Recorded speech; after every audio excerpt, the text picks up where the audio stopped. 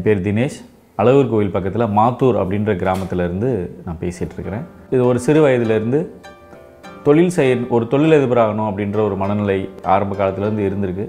அது எந்த விஷயத்தில் நம்ம சக்ஸஸ் பண்ணலாம் எப்படின்ற நிறைய குழப்பங்கள் இருந்துகிட்டு இருந்திருக்கு. ஒரு டிகிரி முடித்து வெளிநாடுகளில் வேலை செஞ்சு எங்கெங்கேயோ போய் அலைஞ்சு வந்து ஒரு திரும்ப நம்ம சொந்த ஊர்லேயே வந்து ஏதாவது ஒரு தொழில் தொடங்கலாம் அப்படின்னு நினச்சப்போ ஒரு சூப்பர் மார்க்கெட் முன்னாடி ஒரு ஃபுட் கேஸ்ட் அப்படின்னு ஒரு கான்செப்ட் அதில் வந்து அப்போ நான் சொல்கிறது வந்து ரெண்டாயிரத்தி ரெண்டாயிரத்தி ஒம்பது ரெண்டாயிரத்தி பத்து அந்த சூழ்நிலைகளில் ஒரு பிஸ்னஸ் ஸ்டார்ட் பண்ணலாம் அப்படின்னு நினைக்கிறோம். அப்போ என்ன பண்ணுறோம் ஒரு சின்ன முதலீடு போட்டு ஜங்க் ஃபுட்ஸ்னு சொல்லுவீங்க இல்லையா? அப்போ சிக்கன் பர்கர் நக்கட்ஸ் இந்த மாதிரியான விஷயங்களை அந்த கடை முன்னாடி செஞ்சு கொடுக்குறது. இதுதான் நான் முத முத ஆரம்பித்த தொழில். உண்மையிலேயே ரொம்ப சிறப்பாக போயிட்டு இருந்தது. நல்ல ஒரு வருமானம் இருந்தது. ஒரு அஞ்சு மாதம் வரைக்கும் அந்த பிஸ்னஸ் பண்ணிகிட்டு இருப்பேன். இதில் ஒரு ரெண்டு மாதம் மூணு மாதம் போகும்போது அதோட செல்ஃப் லைஃப் அதாவது அது எவ்வளோ நாளாக அந்த ஒரு கோழி இருக்கு இல்லையா அது எவ்வளோ நாளாக நம்ம அதில் இருக்குது எவ்வளோ தூரம் அதை வச்சுருக்குறோம் எப்படி சாப்பிட்றோம் இது எல்லாமே தெரிஞ்சுக்கிற முடிஞ்சது.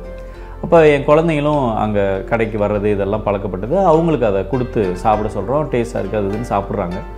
பட் அதுக்கப்புறம் அதை அந்த உணவு முறைகளை பற்றி தெரிஞ்சுக்கிற போது அதில் என்ன மாதிரி அது எவ்வளோ நாள் ஆகுது ஏன் அதை சாப்பிடலாமா சாப்பிடக்கூடாதா உடலுக்கு நல்லதா கெடுதலா அப்படின்லாம் தெரிஞ்சுக்கிற வரும்போது ஐயோ இது நம்ம குழந்தைக்கு கொடுக்குறோமே அப்படின்னு ஒரு மனநிலை வருது.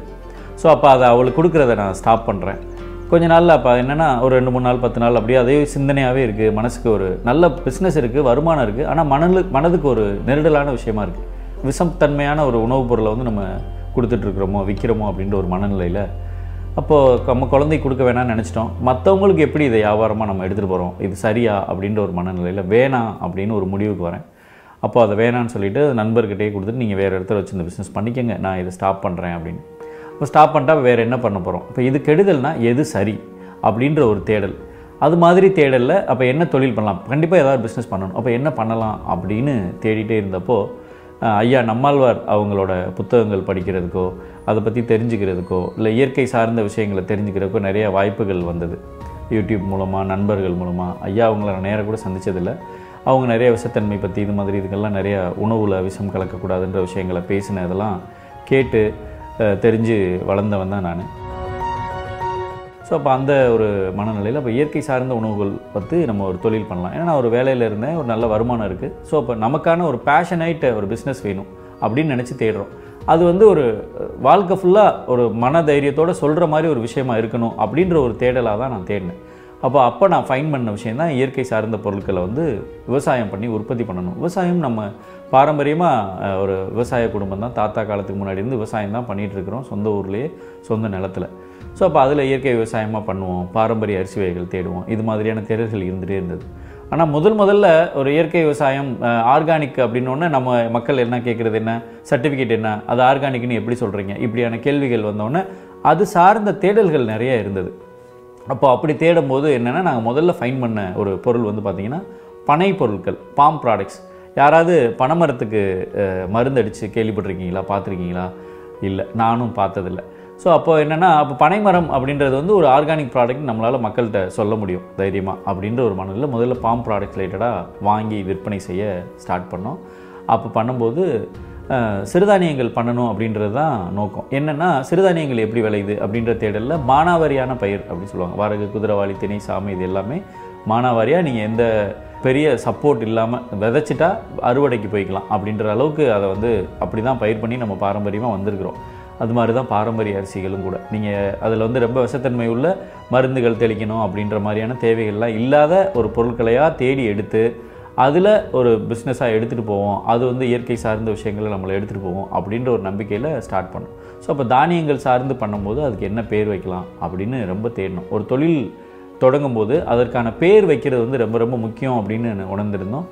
அப்போ தேடினோம் அதுக்கு தான் வந்து தானியாஸ் நேச்சுரல் ப்ராடக்ட்ஸ் அப்படின்னு பேர் வச்சோம். ஏன் தானியாஸ் அப்படின்னா தானியங்கள் சார்ந்த தொழில் தொடர்ந்து போகிறதுனால தானியாஸ்னு பேர் வச்சோம். அது இன்றைக்கி வரைக்கும் நிலச்சிருக்கு. நல்ல ஒரு அந்த பேரே வந்து ஒரு நல்லா இருக்குது அப்படின்னு நிறைய பேர் ஃபீட்பேக் கொடுத்துருக்குறாங்க. அதில் அப்போது ஃபியூச்சரிஸ்டிக்காக யோசிச்சோம். இப்போ நாளைய பொழுது எப்படி இருக்கும்? நல்ல உணவு முறை தேர்ந்தெடுத்தாச்சு. அப்போ தொழிலாக எடுத்துகிட்டு போகும்போது ஒரு பத்து வருஷம் கழித்து இந்த தொழில் எப்படி இருக்கும்? என்ன பண்ணலாம்? இப்படியெல்லாம் யோசித்தோம் அப்போ நண்பர்கள்ட்ட டிஸ்கஸ் பண்ணி அதை இது பண்ணும்போது தானியாஸ் அப்படின்றது வந்து எப்படியெல்லாம் மார்க்கெட் பண்ண போகிறோம் கடை வைக்க போகிறோமா இதெல்லாம் யோசிச்சுட்டே இருந்தோம். அப்புறம் எதனால இது பண்ணணும்? என்னென்ன பொருட்கள் பண்ணலாம்? அப்படின்ற இடத்துல நிறைய இன்ஸ்பிரேஷன்ஸ் நிறைய அங்கங்கே மனம் சார்ந்த ஒரு நிறைய பேரோட கருத்துக்கள் வந்து நம்மளை அடுத்து இந்த இதில் தொடர்ந்து பயணிக்க வச்சது. அண்ணன் வெற்றிமாறன் அப்படின்னு ஒருத்தரை சந்திக்கிறதுக்கான வாய்ப்பு இருந்தது. அவங்க வந்து வானகமில் கூட இருக்கிறாங்க.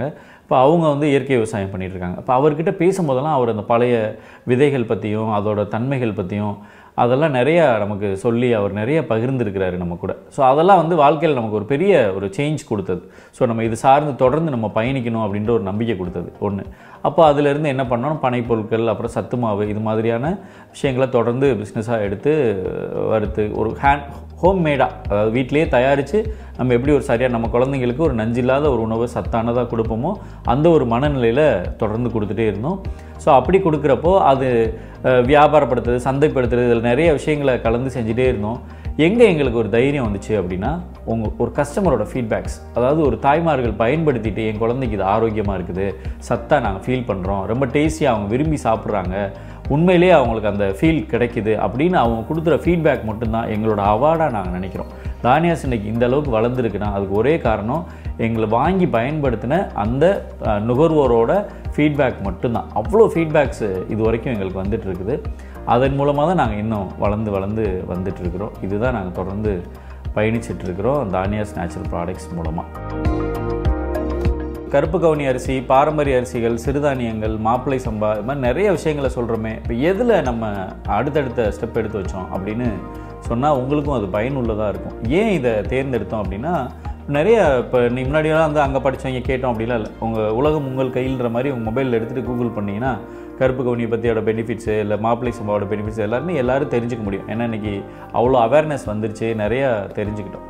ஸோ அது மாதிரியான தேடலில் தான் நாங்களும் இப்போ பாரம்பரிய அரிசிகளை தேர்ந்தெடுத்தோம். அதில் வேறு என்னென்ன மதிப்பு கூட்டல் பொருள் பண்ணலாம் அப்படின்னு தேடி தேடி ஒன்று ஒன்றா பண்ணதில் எங்களுக்கு சக்ஸஸ்ஃபுல்லாக போயிட்டு இருக்கிற ப்ராடக்டாக நாங்கள் நினைக்கிறது வந்து கருப்பு கவுனி சத்து மாவு கருப்பு கவுனி புட்டு மாவு மாப்பிள்ளை சம்பால புட்டு மாவு சத்து மாவு பூங்கார் அரிசியில் சத்து மாவு புட்டு மாவு இப்படி எல்லாத்துலேயும் பண்ணிகிட்டே இருக்கும். ஆனால் அந்த மூணு வகையான அரிசிகளை ரொம்ப முக்கியமாக சொல்லலாம். இது என்ன மாதிரி இதை வகைப்படுத்தலாம் அப்படின்னா கருப்பு கவுனின்றது வந்து முன்னர் காலங்களில் ராஜாக்கள் சாப்பிட்ட அரிசி அப்படின்னு சொல்லுவாங்க. நீங்கள் நிறைய யூடியூப்பில் வீடியோஸில் எல்லாம் பார்த்துருக்கலாம். அது ஏன் அப்படி சொல்கிறாங்க அப்படின்னா அதில் அவ்வளோ மருத்துவ குணங்கள் நிறைஞ்சிருக்குது. சுகருக்கு ரொம்ப சப்போர்ட் இதாக சப்போர்ட்டாக இருக்குது மருந்து ம குணங்கள் நிறையா இருக்கிறனால நமக்கு நல்லா ஹெல்த்தியாக இருக்கும். எலும்பு வலி மூட்டு வலியெலாம் இருக்கிறவங்க கருப்பு கோணி தொடர்ந்து சாப்பிட்டுக்கிட்டா அதுலேருந்து அவங்க தங்களை தருணம் கொஞ்சம் தெம்பாக ஃபீல் பண்ணுவாங்க அப்படின்லாம் நிறைய ரீடிங்ஸ் படிக்கிறோம். இதெல்லாம் சார்ந்து எல்லாமே இருக்குது ஸோ அப்போ இந்த கருப்பு கவுனி மாப்பிள்ளை சம்பாவை எப்படி சமைச்சு சாப்பிட்றதுன்றது நிறைய பேருக்கு தெரியுமா தெரியலையான்றலாம் தெரில அப்போது ஒரு ப்ராப்ளம் இருக்குது மார்க்கெட்டில் என்ன? இதை சாப்பிட்லாம் ஆனால் எப்படி சாப்பிடணும்னு தெரில அதுக்கு நாங்கள் ஒரு சொல்யூஷன் யோசிக்கிறோம். எப்படி யோசிக்கிறோன்னா எப்படி உங்களுக்கு ஈஸியாக பயன்படுத்துகிற மாதிரி கொடுக்க முடியும் அப்படின்றது தான் ஒரு ஒரு யோசிச்சு அப்போ அதை ஹெல்த் மிக்ஸாக தோசை மிக்ஸாக கொடுக்கும் தோசை மிக்ஸ் வந்து ஈஸியாக எல்லார் வீட்லேயும் பயன்படுத்திட முடியும். ஒரு பெனிஃபிட் உள்ள ம மருத்துவ குணமுள்ள ஒரு பொருளை நமக்கு இன்றைக்கி உள்ள தொடர்ந்து ஒரு வாழ்க்கை முறைக்கு ஏற்ற மாதிரி பயன்படுத்திக்கிற மாதிரி நம்ம ப்ராடக்ட்டை தயார் பண்ணி கொடுக்குறோம். தானியாஸில் கருப்பு கவுனி சத்து மாவு. அவ்வளோ அருமையாக எல்லாருக்கும் ரீச் பண்ணுற மாதிரி கொடுத்துருக்குறோம். அவ்வளோ சூப்பர் ஃபீட்பேக்ஸ் கஸ்டமர்கிட்டருந்து நமக்கு கிடச்சிருக்கு. சிறுதானியங்கள் பாரம்பரிய அரிசி வகைகள் சார்ந்த தொழில் பண்ணணும்னு முடிவு பண்ணிட்டோம். அதுலேருந்து வாங்குகிறோம் விவசாயம் பண்ணுறோம் விற்கிறோம் ஸோ அப்போ அதில் என்ன பண்ணலாம்? எப்படி? ஏன்னா எல்லாரும் சிறுதானியங்களாக எடுத்துகிட்டு போய் மார்க்கெட் பண்ணால் விற்க முடியுமா? அப்படின்ற ஒரு சூழ்நிலையில் வேறு என்ன பண்ணலாம்னு நிறைய யோசிச்சு நிறைய நண்பர்கள்ட்ட கேட்டு தேடி தெரிஞ்சதில் இன்றைக்கி உள்ள வாழ்க்கை முறைக்கு பயன்படுத்துகிற மாதிரி கொடுக்கணும் அப்படின்னு முயற்சி பண்ணணும் அதில் தான் வேல்யூ ஆட் பண்ணுறதுன்றதில் சத்து மாவாகவும் புட்டு மாவு தோசை மாவு இது மாதிரி ஈஸியாக பயன்படுத்துகிறதுக்கு ஏதுவாக அந்த பொருட்களை மதிப்பு கூட்டல் பண்ணி நம்ம மா சந்தைப்படுத்துகிறோம் அதில் பூங்கார் அரிசி நிறைய மருத்துவ குணங்கள் இப்போ முன்னாடி காலங்களில் பெண்களுக்கான அரிசி அப்படின்னு சொல்லுவாங்க. பூவையர் அரிசி பூங்கார் அரிசின்னு சொல்லி படிச்சிருக்கிறோம் கேள்விப்பட்டிருப்பீங்க. அப்போ அந்த பெண்களுக்கான அரிசி எதுக்கு அது பெண்களுக்கான அரிசி அப்படின்னா முன்காலங்களில் ஒரு நார்மல் டெலிவரி அப்படின்ற விஷயத்துக்காக கொடுக்கப்பட்டது பூங்கார் அரிசின்னு சொல்லுவாங்க. அதில் தாய்ப்பால் சுரக்கிறதுக்கான நிறைய மருத்துவ குணங்கள் இருக்குது. முதுகு தண்டு வலிக்கெலாம் வந்து ரொம்ப சப்போர்ட்டிவாக இருக்கும். ஹீமோகுளோபின் நல்லா இன்க்ரீஸ் ஆகும். பெண்களுக்கான அனைத்து ஏ ஊட்டச்சத்தும் பூங்கார் அரிசியில் கிடைக்குது. இப்படியெல்லாம் ஒரு ஒரு வகையான அரிசிலையும் ஒரு ஒரு மருத்துவ குணங்கள் இருக்குது இதுகளை தெரிஞ்சுட்டு அந்தந்த மருத்துவ குணம் உள்ள அரிசிகளை தேர்ந்தெடுத்து அந்த பாதையில் பயணித்து அதை சத்து மாவாகவும் புட்டு மாவாகவும் இன்றைக்குள்ள வாழ்க்கை முறைக்கு பயன்படுத்துகிற மாதிரியும் கொடுத்துட்ருக்குறோம் அது நல்லா சந்தைப்படுத்த முடியும் நல்லபடியாக வருமானம் வந்துட்டுருக்குது. இயற்கை விவசாயம் சார்ந்தும் இயற்கை விவசாயத்திலிருந்து வர்ற பாரம்பரிய அரிசி சிறுதானியங்கள் மூலமாக மதிப்பு கூட்டல் சார்ந்தும் தெரிஞ்சுக்கிட்டோம். இது இன்றைக்கி உள்ள இயற்கை விவசாயிகளும் இல்லை இயற்கை சார்ந்த மதிப்பு கூட்டல் பொருள் பண்ணுறவங்களுக்கும் நிறைய வாய்ப்புகள் அதிகமாக இன்னைக்கு இருக்குது அதுக்கு வந்து நிறைய government side supports start up கம்பெனியாக வர்றவங்களுக்கு வந்து ஸ்டார்ட் அப் இந்தியா இருக்குது ஸ்டார்ட் அப் தமிழ்நாடு இருக்குது இப்போது ஈசா மண்காக்கம் மண்காப்போம் இயக்கம் மூலமாக ஸ்டார்ட் அப் திருவிழா அது எல்லாமே நடத்திட்டு இருக்கிறாங்க. நிறைய ஒரு நாள் பயிற்சி கொடுக்குறாங்க. நானும் அதில் ஒரு பயிற்சியாளராக இருக்கேன்றது ரொம்ப சந்தோஷமாக அவங்க கூட பகிர்ந்துக்கிறேன். இது வரைக்கும் நிறைய ஒரு ஐயாயிரம் விவசாயிகளுக்கு மேலே நேரடியாக சந்தித்து இந்த பயிற்சியில் கலந்துக்கிட்டவங்களுக்கு பயிற்சி கொடுத்துருக்குறோம். என்ன மாதிரி பயிற்சினா இப்போ நம்ம என்ன தொழிலாக பண்ணிகிட்டு இருக்கிறோமோ ஒரு சிறுதானியத்திலேருந்து ஒரு பாரம்பரியத்திலேருந்து எப்படி மதிப்பு கூட்டல் பண்ண முடியும்? எப்படி சந்தைப்படுத்த முடியும்? எப்படி அதில் நல்ல பலன் பெற முடியும்? அப்படின்றத நேரடியாக பயிற்சியாகவே கொடுத்துருக்கோம். அது நிறைய பேர் பயன்பெற்றிருக்காங்க. நீங்களும் வாங்க. இதன் மூலமாக பயன்பெற முடியும். உங்களோட ஒரு வாழ்க்கை முறையிலேருந்து ஒரு ஸ்டெப் நீங்கள் முன்னேறணும்னு நினச்சிங்கன்னா கண்டிப்பாக இந்த மாதிரி பயிற்சிகளில் கலந்துக்கங்க. உங்களோட ஆர்வத்தை இன்னும் கொஞ்சம் சப்போர்ட் பண்ணலாம். நீங்கள் எதை தேடி போகிறீங்களோ அதை நோக்கி உங்களுக்கு நிறைய ஹெல்ப்ஸ் இப்போ வெளியில் கிடச்சிட்ருக்கு. இப்போ ஈசா மண்காப்போம் இயக்கம் வந்து எங்களுக்கு அவ்வளோ ஒரு சப்போர்ட்டாக இருந்தது. இப்போ அது மங்களுக்கும் நிறைய பேருக்கும் பயன்படுத்திகிட்ருக்கு அது நீங்களும் பயன்படுத்திக்கங்க. தானியாஸ் நேச்சர் ப்ராடக்ட்ஸ் இவ்வளோ சக்ஸஸ்ஃபுல்லாக போயிட்டுருக்கிறதுக்கு சப்போர்ட் பண்ண அனைவருக்கும் ரொம்ப நன்றி. இயற்கை விவசாயிகளுக்கு கூட பயணித்த நண்பர்களுக்கு குடும்பத்துக்கு எல்லாருக்கும் இந்த இடத்துல நன்றியை பதிவு செய்கிறேன் அதே மாதிரி நிறைய start up India start up Tamil Nadu Isha மண்காப்போம் இயக்கம் இவங்களுக்கு எல்லாத்துக்கும் என்னோடய நன்றியை பதிவு செய்கிறேன் ரொம்ப முக்கியமாக இந்த பயணத்துக்கு காரணமாக இருந்த ஐயா நம்மாழ்வாரர்களுக்கு ரொம்ப மனமார்ந்த நன்றி இந்த இடத்துல தெரிவிச்சுக்கிறேன். ஐயா எப்பவும் சொல்கிற விஷயம் விதைத்து கொண்டே இரு முளைத்தால் மரம் இல்லையேல் உரம் அப்படின்னு. அவரோட வாக்கிக்கு இணங்க தொடர்ந்து விதைச்சிட்டே இருக்கணும்னு நினைக்கிறேன். எல்லாருக்கும் மனமார்ந்த நன்றி.